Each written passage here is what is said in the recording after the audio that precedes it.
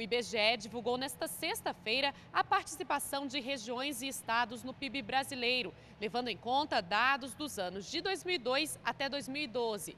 Durante esse período, as regiões Centro-Oeste, Norte e Nordeste aumentaram a participação no PIB e os oito estados brasileiros mais ricos diminuíram a concentração de riqueza.